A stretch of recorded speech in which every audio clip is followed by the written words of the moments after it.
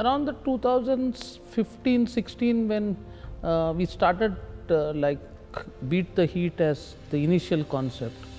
And that took some time for us to a couple of product launches into india and explain to them what we are trying to achieve. And uh, around the 17 is when earlier version of ubcc got evolved as cold chain unbroken. So what uh, made this so unique about when compare rest of them is that X-ray machines was one pain area that we identified many years ago at the airports for active and passive containers.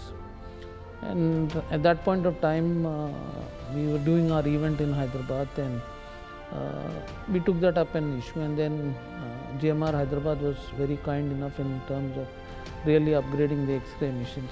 And that followed suit in all other airports. So while we may not get a direct credit, but uh, we've been instrumental in taking up industry issues. Anyone does anything should have a purpose end of the day and the purpose should be driven by sheer passion. And when you have purpose and passion and you have a commitment and dedication, then the output that comes out is ultimately uh, what you see today, uh, sort of. And I think the last thing is that this is just the start it's only growing bigger and people are seeing greater value year on year. Every uh, edition of CCUB has now remarkably uh, addressed issues. Uh, we're getting more more subjects, creating more awareness. So I think we're going in the right direction and uh, I'm really happy that the response to host the event is only getting greater and greater. Child or whether it is a plant, everything has to mature over a period of time. First seed when it fell in my brain it was constantly thinking every day is that uh, what should be done and then finally when the first thing came out like i said like my own child uh, the hand holding had to be done. Now we are in a situation to recognize industry leaders give lifetime achievement awards. Uh, now we will get to a stage where ccub will become the front face and we will institutionalize ccub with clear mandate and we would want to be the face to the government clearly in terms of addressing cold chain issues. After this edition, we can clearly see that what we want to do, how we want to do, and by when we want to reach. So the maturity is now far higher than what it was uh, as a child.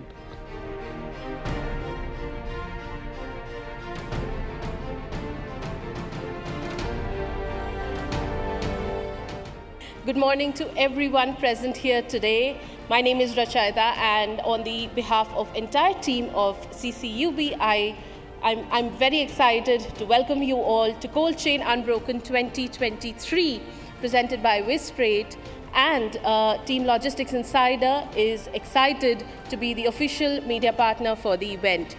And here I'd like to take a brief moment to thank all our partners for helping making this event possible. Now, ladies and gentlemen, we are going to begin with our inaugural ceremony, and for that, I would request uh, the dignitaries to join me on the stage as I announce your names. Uh, so, with a big round of applause, let's welcome our chief guest, Dr. S. Selvakumar, IAS Principal, Principal Secretary, Department of Commerce and Industries, Government of Karnataka. Dr. Selvakumar is an IS officer of the 1997 batch Karnataka cadre. He has studied engineering, economics, and law and completed his doctorate from Mysore University. He has also studied at the Duke University, USA, and during his career, he has held various positions in the state and center. Welcome to the show, sir. We are so honored to have you here. Our next guest is our guest of honor, Ms. Kajal Singh, Principal Commissioner, ACC and Airports. Ms. Singh is a 1992 batch officer of the IRS, Customs and Indirect Taxes. Uh, she's currently working as the Principal uh, Commissioner of Customs, Airport and Air Cargo, Bengaluru. She has worked in various capacities uh, in the Customs and Central Excise as, at field level. Welcome to the show, ma'am. We are really excited to have you. Our next uh, speaker is our keynote speaker, Mr. Satyaki Raghunath, Chief Strategy and Development Officer, BIAL. Please give him a big round of applause. Mr. Raghunath is an aviation futurist, strategist, digital innovation expert, and speaker with board and C-suite experience in over two decades with public and private operators of transport infrastructure globally. He currently leads the strategy and development vertical at BIAL and serves at the board of multiple subsidiaries of BIAL. We have next Mr. Ramkumar Govindarajan, founder and CEO of WIZ. Please give him a big round of applause. Uh, Mr. Govindarajan is the founder and CEO. He started WIZ along with Mr. Ramkumar Ramchandran, a veteran with 30 plus years of experience in logistics industry back in 2020.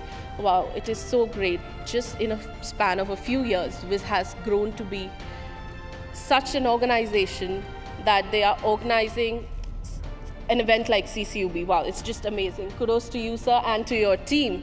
Now, uh, Mr. Govindarajan is passionate about technology and likes to work um, on use cases to solve problems using technology. Welcome to the show, sir. And finally, uh, the man behind it all, Mr. Satish Lakaraju, Global Head, Air Freight and Pharma WIZ. He deserves a big, big round of applause with an uh, experience of almost three decades, Mr. Lakaraju has demonstrated a history of working in the logistics and supply chain industry. He's a passionate about life sciences and patient safety and speaks in various domestic and international forums. Thank you, ladies and gentlemen, for your august presence on the stage.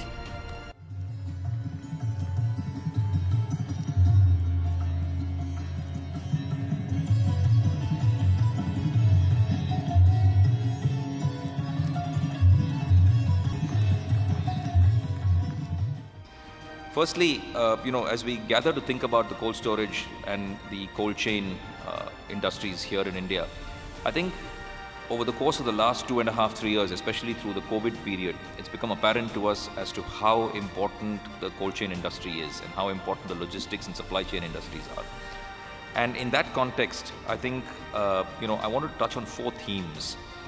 The first theme was sort of how the perishable and the pharmaceutical industry has really driven uh, the cold chain industry. And the fact is that we've uh, really started paying much more attention to it with the growth of these two industries here, uh, and, and, not just here in India, but across the globe. The, the second theme was on looking at the e-commerce market, which is again something that really came into prominence probably over the last 15 years, but was certainly exacerbated over the course of the COVID pandemic. And the fact that all of us are so dependent on this particular industry for our daily lives. Today, every one of us orders things without thinking about it, and it would never have been possible uh, a few years ago. And the e-commerce industry is again something that's driving the cold chain uh, industry very dramatically and, and will continue to do so over the course of the next few years. Thirdly, I think the, the, the third theme is about policy initiatives that the government is taking both from an Indian perspective and sort of working with trade bodies and other countries to try and ensure that the cold chain industry is unbroken and we have the right sort of initiatives from a regulatory and policy perspective in order to make the industry thrive and grow. And I think the fourth and final theme, which is all pervasive and affecting industry all over the place, is the idea of sustainability and environment. I think it's becoming increasingly important to all of us that climate change and sustainability are going to be the biggest topics of the next future generation. And it's something that all of us have to take exceptionally seriously. And it's being exacerbated and magnified by what we're seeing every year with respect to, uh, you know, what, what we're seeing uh, with disasters, with unnatural events going on every year and how all of us will probably have to think about this in everything that we do here uh, within the not just the cold chain industry but literally every industry that any of us is part of. I would like to introduce you to our second session, the cold chain infrastructure at airports and on ground. Let me go to specifics of uh, the first business session that happened on the 14th of September which was more related to infrastructure at airports and on the ground. And I really proud to say that uh, the best of people in the industry uh, globally were present on it because that track uh, had a moderator who came in with around 40 to 47 years of experience. So the whole track had close to 200 to 250 years of uh, combined uh, knowledge that was sitting on the platform. But I think what came out very clearly uh, right from uh, Mohammad Isa who represented WFS to someone like Prasad Gangusetti who represented GMR and then Manoj Singh who represented Adani's which represents almost 8 airports in the country and then you had uh, Burak who represented Turkish which has one of the world's largest network and then you had Abdullah who represented Emirates. Uh, you couldn't have asked for more in terms of what could come out of it. One thing came out very clearly is that uh, Indian airports have put in a lot of infrastructure at the major gateways in the country. So, which basically came whether it's Bombay, whether it is Hyderabad, whether it's Bangalore uh, through WFS or whether it is uh, any other part of the metro stations, the infrastructure in the private airports has been a boon to it. And it also came out very, very clearly that uh, pharma zones are there, differentiating between a perishable and a pharma uh, is there. Uh, the sense of understanding uh, how to maintain temperature and that came out. Also what came out uh, very very clearly is that uh, while we have come uh, to a very large extent in terms of what we have put on the ground, but there are still areas which have to be addressed clearly in terms of transshipment capabilities uh, for temperature controlled cargo.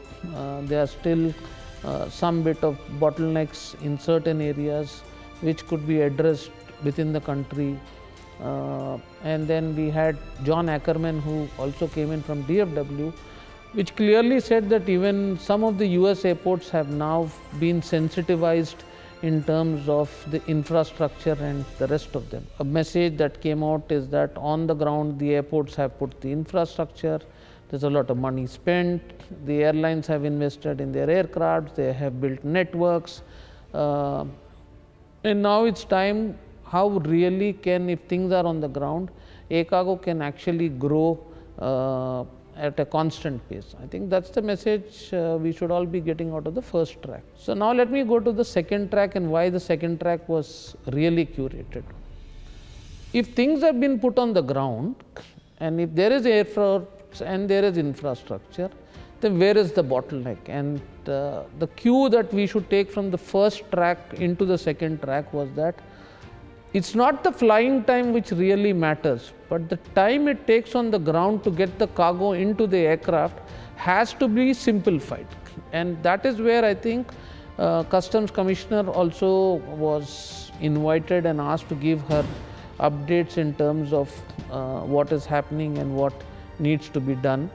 Uh, the track was moderated by Radhakrishan Panikar, who is a veteran in terms of being in the industry and qualified DG or trainer. And then we had Mr. Krishna Kumar as the Global Chief Operating Officer of WIZ being present uh, as well and giving their inputs in terms of uh, what is the expectation in terms of uh, really uh, doing a few steps which could ease the whole situation. And I brought out a point very particularly in the Q&A session saying that uh, there is an issue of giving bond uh, on several locations for every shipment.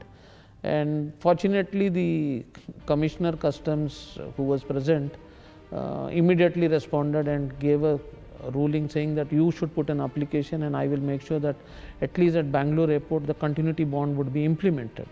So, I think this again goes to manifest that CCUB uh, has taken up issues uh, at the right forum and imagine uh, commissioner giving an answer in front of everyone is a remarkable thing to happen because this was not something which I fighting for today.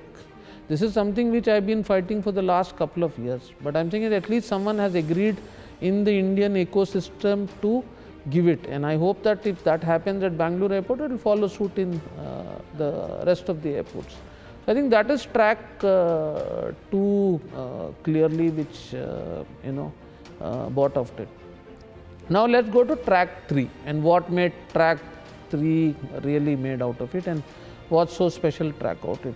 I think India is talking about Bharat now. Uh, we looked at words like Hindustan in the past, we looked at things like India.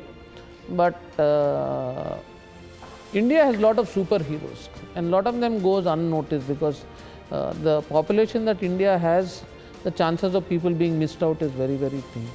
And so what we tried to do in it, the track was moderated by uh, founder and CEO of WIZ, Ramkumar Govindarajan, who thought it makes it very relevant that the learnings of other supply chains are really understood and is there anything good in the other supply chains that can be implemented clearly in the life science, cold chain and perishable vertical. And what would we decide about is that high tech is one vertical where speed is essence and cost is of paramount importance. So if you today looking at your mobile phone or your any of the tech gadgets, you can't bring them by ocean freight because uh, by the time you bring the model is going to be outdated.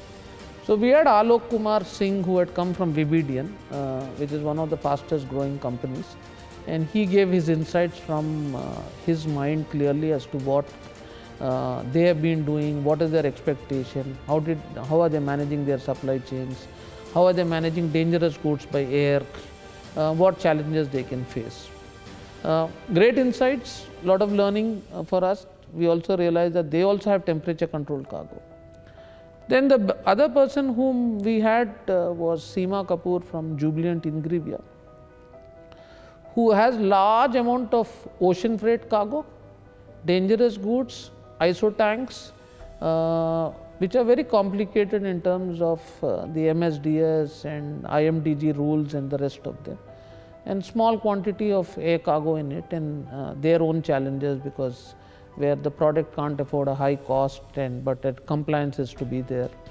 So that was another learning that people got to see and then we went to a market which uh, every one of us understands but don't understand the challenge which was uh, a food FMCG uh, product uh, Del Monte and Gaurav Makhija gave his insights and I think that was also very brilliant in terms of what came out. And then we had Varun Chopra from Gear, uh, who spoke about uh, clearly the material handling equipment and their amount of challenges and the rest of them. So, in and all, brilliant session, great learnings, lot to uh, understand, uh, and, and then that ended the day uh, one clearly on a super high note because we uh, acknowledged uh, the supply chain heroes of Bharat uh, in the process. I think that's where. and let's go to day two's first session, which was active and passive solution, and how do we optimize packaging solution because it's always been a debate as to should I use an active solution, should I use a passive solution, which is better than which, and that confusion has always been there.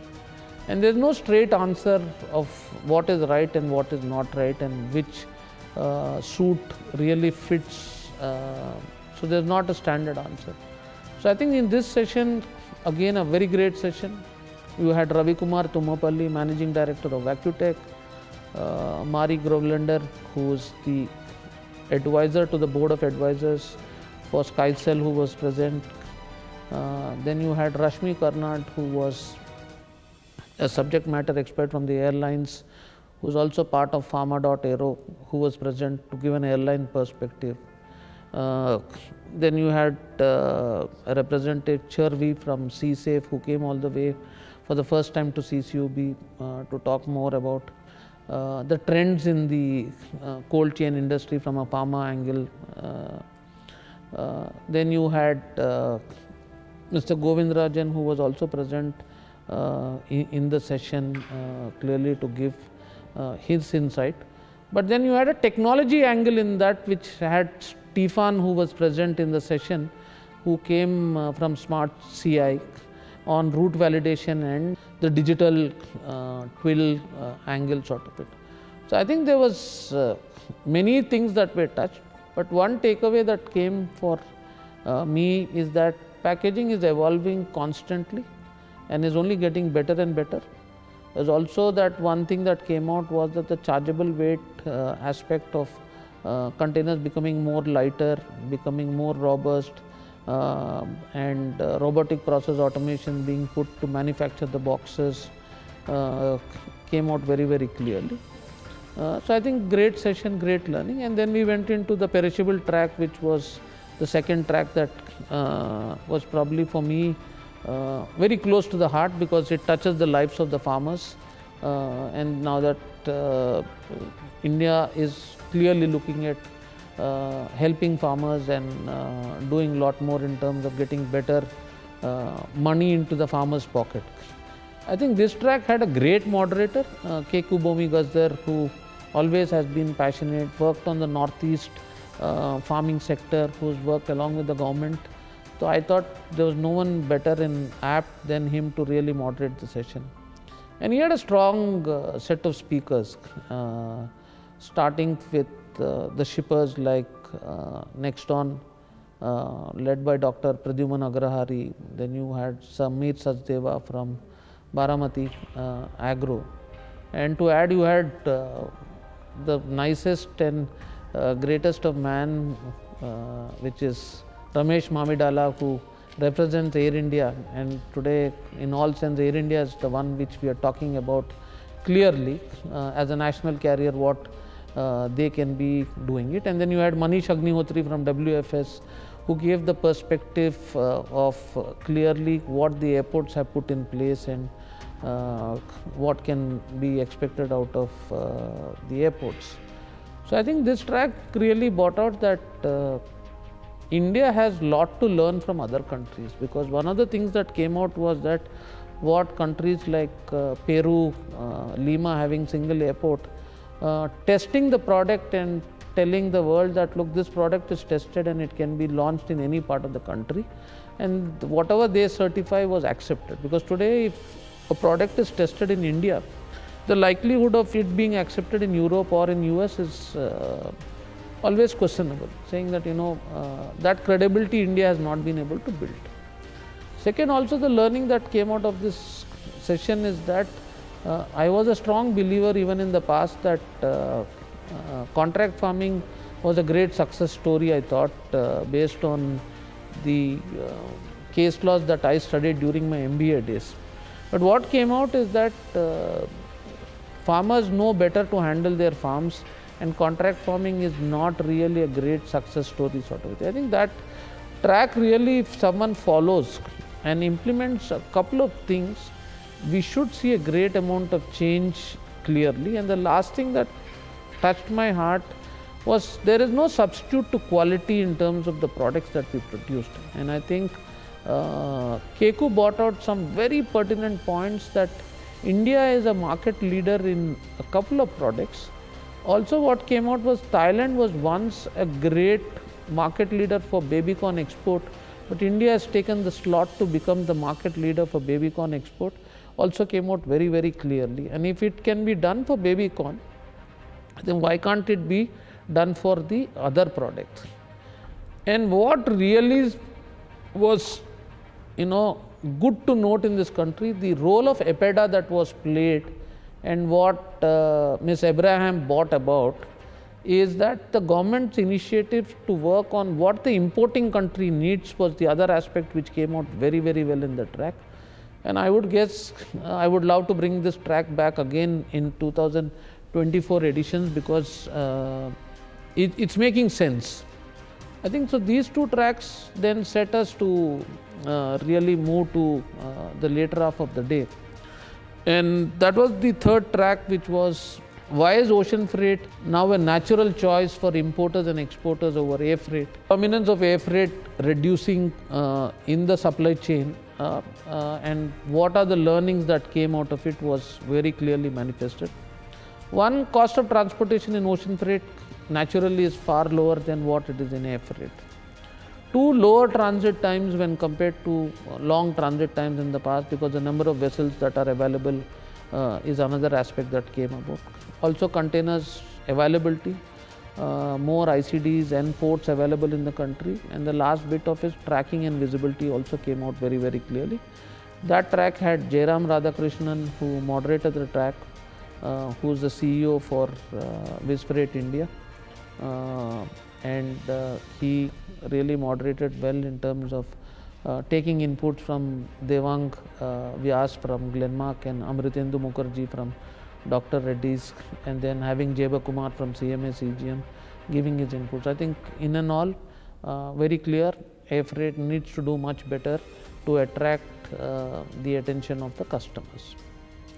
I think in the last track for the day for me was just too good.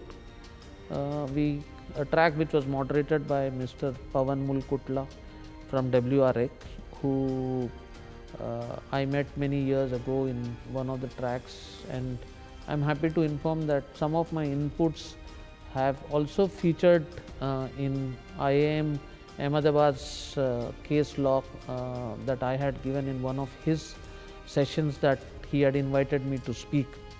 Uh, has been doing a good uh, amount of work in terms of working with Niti Aayog and uh, other agencies on the EV side, hydrogen, uh, and sustainability. So, Pavan had a very nice panel. We had Guhan, uh, who heads Vistrax uh, based out of Chennai. Then you had uh, the presence of Mr. Narang, uh, who uh, really represented uh, one of the fastest growing industry uh, in terms of mobility. Then you had Manoj Sharma, who came from HCMI from Manesar. And then you had Samit Jain from Plus Advanced Technologies. But Samit can maybe be from the packaging industry, but his inputs in terms of what he can give both on the packaging side and on the sustainability side are uh, phenomenal. And uh, who will bell the cat and who will start first? I think Uday Narang was very, very clear that uh, I have come back to this country and uh, he was very vocal. If you don't do it today or if you uh, keep waiting for government to do it, it's not going to happen. Let's move and make it happen. Uh, who is the winner or who is the loser really does not matter, but someone has to start. And I think you need people like him who are vocal, who are pushy, with the balanced approach of people like Samit Jain on one side, Manoj Sharma ji on one side, and young generation like uh, you know Guhan who are trying to build technology based uh, tracking systems. And uh, the message was very, very clear. I think uh, overall, all the tracks have done extremely well, uh, and the quality of speakers was just too good. Uh, I think, in and all, CCUB 2023 had some uh, wonderful tracks, and to have a packed house on day two was uh, generally not a case uh, after a long awards night that happens. So I think these are things which one has to really appreciate. If you can really mentor, monitor, and advise young children and the purpose behind what we are trying to do, they will really give their heart and soul because that's an age where they're looking for guidance. And I think it's a great initiative and learning for even other people in the industry is that catch the talent young, give them the right input, put them in the right direction, and build organizations is the only message that I can give to anyone if at all they want a message uh, out of CCU.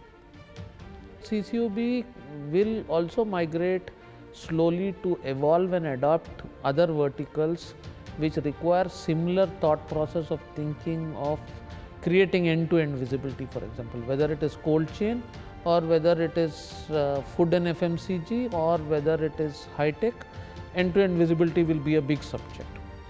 Second, managing documents uh, using technology and cloud uh, will be another aspect that we will bought and this year we had Elyxr who uh, were the title sponsor and uh, they clearly uh, manifested on how we can manage end-to-end documentation and the rest of them. So I think there are a lot of subjects for the next coming uh, uh, thing. We also should look forward as to what ChatGPT should be able to assist in terms of you know technology being used because uh, whether it is cold chain or whether it is anything, uh, packaging is always an area where uh, what is right and what is wrong uh, is always been a challenge. So I think there are many things that I can clearly tell you that for the next edition, people will be thrilled to see the subjects. It will take some time to build, but we are absolutely confident that we will put an outstanding uh, CCUB 2024. The venue seems to be really a surprise. We look forward to hosting in any venue but focus on the content. To CCUB 2023 Award Night.